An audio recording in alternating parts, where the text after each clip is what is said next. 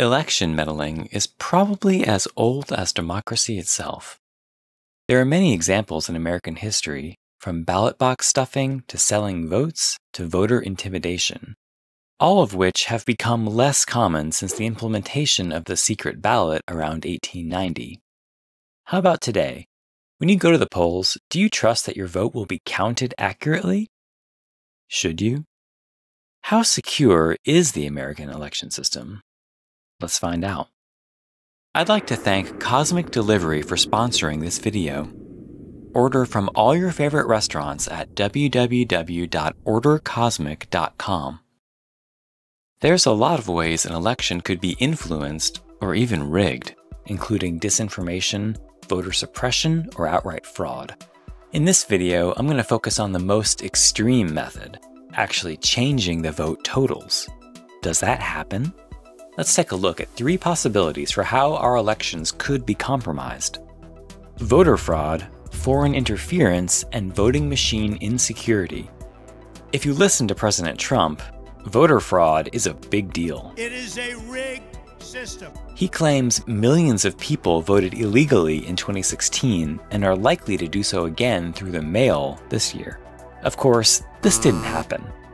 Even Trump's own Voting Integrity Commission could find no evidence of widespread voter fraud. So, voter fraud by impersonation is not really a thing. I mean, yeah, it happens sometimes, but it's very rare. The Brennan Center for Justice says that someone is more likely to be struck by lightning than impersonate another voter. Despite this, states like Georgia have gone out of their way to put a stop to this non existent voter fraud. They've passed voter ID laws, exact match laws, and held voter registration purges. Although exact match was abandoned in Georgia last year, we also purged almost 200,000 people from the voter rolls wrongly in 2019, according to the Georgia ACLU. The cure is worse than the disease. Voter fraud is not a thing. Okay, moving on to something that's a bigger deal foreign interference in our elections. Everyone knows by now that Russia interfered in the 2016 US presidential election. This is fake news. Do not believe the lies of the Western media. They did it in three ways. First, Russia used online propaganda and fake news. Second, they hacked the DNC's servers. And finally, they made attempts to penetrate our election security with more hacking. By far the most consequential of these was their propaganda and disinformation effort. But for the purposes of this video, I mean, it didn't physically change the vote totals and neither did the DNC hack. What I'm interested in is the last one. Did they actually manage to penetrate our election systems? In some cases, it appears yes. Russian hackers gained access to an Illinois voter registration database, and by using spear phishing emails, they also gained access to a government network of one Florida county. Hey, if something looks suspicious, don't click the link, okay? Especially if you're an elections official also, Russia scanned many other elections websites across the country looking for vulnerabilities. But I don't want to scare you. For all their efforts, the Russians weren't able to change a single vote in 2016, at least not directly. I don't think they'll be able to in 2020 either. According to the Office of the Director of National Intelligence, our election system is resilient. Although the threat of foreign interference is real, Americans can have confidence that a vote cast will be a vote counted. Russia may have some skilled hackers, but they're not omnipotent. So I can see no reason to contradict what he's saying here. Although, I do have concerns regarding insecurities in our election systems, especially our voting machines. Georgia switched to computerized voting machines after the infamous 2000 election exposed some serious problems with paper based systems. Just last year, we spent over $100 million on a completely new set of voting machines. How does the average Georgian feel about that? Do they even trust these new machines? Yes. Yes, I do. 100%. Yes, sir. I have used them. Yes, sir. I do. I have faith that it would be nowadays you could say at least mostly accurate. My fear is us rejecting the results. No, just because I don't trust the government to update anything and keep things secure. I think there's gonna be shenanigans either way. I think that it's more accurate to have paper and pen than it is to have a machine running the elections. Let's dive into this. Our new voting machines are also called ballot marking devices. And here's a quick explanation of how they work. When we vote, we'll pick out our choices on a touchscreen, and then we'll print them out on a ballot.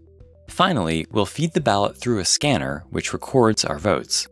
If we were using hand-marked paper ballots, the process would be exactly the same, except we'd fill out the ballot by hand instead of using a printer.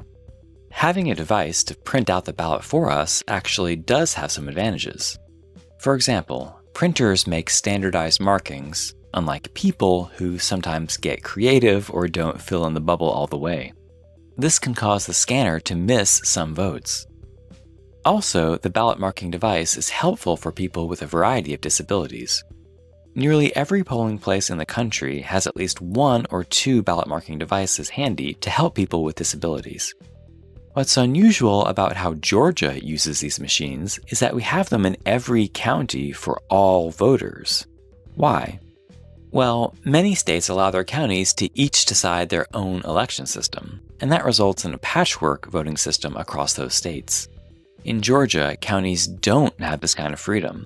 We're all required to use one state system. A second thing to notice about the map on screen is that most counties across the country are shaded green, meaning they use hand-marked paper ballots, and not voting machines for most voters. So Georgia is odd in both respects.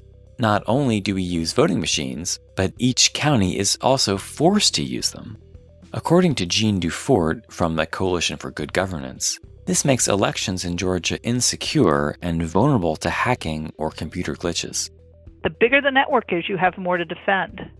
And if one problem infiltrates at one point, it can spread throughout the entire system. So if Georgia was a more diverse state, if Atlanta Metro used one system and the Southeast Coast used another system, a penetration would be bad but it would only affect a portion of Georgia's vote. If there's a problem, though, won't we be able to catch it? In Georgia, for example, the state actually owns all this equipment that's out in, in the counties. So the counties don't get to say, I would like to bring an expert in to check my equipment out to see, to debug it, to see if there's a problem, right? They don't get to say that because it's not their equipment. The state says you can't look. Even so, we do have the ability to audit our election results to help us catch these kinds of problems. For example, we can compare the printed ballots with the result we get after putting them through the scanner. If there's a problem, we could use a different scanner or even count the ballots by hand. With a risk limiting audit, we'll definitely catch any problems with the scanner. So far so good, but what if there's an issue with the printer or touchscreen? Well, after printing your ballot, you should make sure to review it thoroughly before putting it in the scanner. By doing so, we can catch any potential issues before the votes are recorded. Unfortunately, research shows that most people don't do this. Research from the University of Michigan shows that when one vote was changed at random during an experiment, only 6.6% of voters both noticed the error and told a poll worker about it. Only 40% of voters even checked their ballots for errors at all. And sometimes checking your ballot might not help because we, of course, can't read the barcode, which is what the scanner is actually reading. That's a major issue. Paper ballots eliminate the need for both the touchscreen and the printer, and that would eliminate the main source of these potential problems. Any other problems could be found during an audit, so I'm sorry to be the bearer of bad news here, but I have to report that our voting system in Georgia does have major potential insecurities, even after spending over $100 million. How concerned should we be about that? Is there any evidence that computer trouble is likely? We don't know if this potential insecurity will actually affect the election results or not. Hopefully not. But the sad truth is that our voting machines have already experienced major issues this year. Less than two weeks before early voting started, election officials decided to swap out the software of all Georgia's voting machines because of some serious display errors. There are real concerns about the security of using voting machines.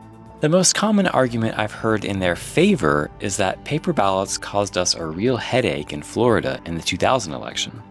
However, the paper ballots advocates in Georgia have been asking for are very different from the punch card ballots used during the 2000 election. Hand-marked paper ballots are undeniably more secure and also cheaper than ballot marking devices. This is why most of the rest of the country uses them. But that being said, voters should absolutely have confidence that their votes will be counted, and that only those votes will be counted. Regardless of whether you use the touchscreens or vote by mail, we have a very resilient system nationwide. There is no evidence at all that the voting machines have been compromised or that mail in ballots are subject to fraud. So please go vote and vote with confidence. You can check out voter information, including a full guide to the 2020 election, on athenspoliticsnerd.com. I want to thank APN members for making these videos possible. You can become a member and help support independent media at athenspoliticsnerd.com/join.